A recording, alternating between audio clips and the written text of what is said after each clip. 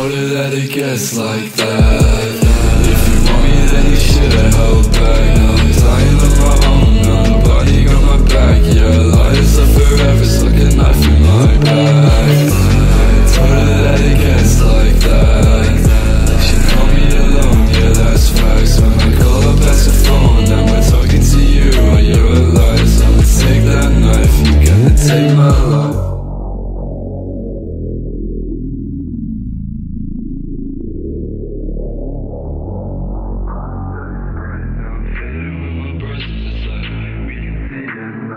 Uh.